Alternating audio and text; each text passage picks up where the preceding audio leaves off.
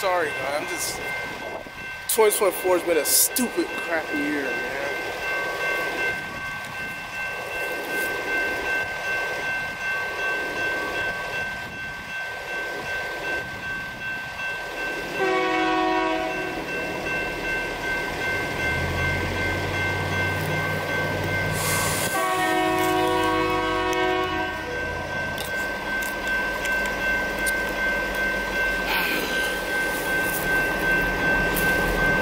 Cam Real fan, one day without getting pissed off.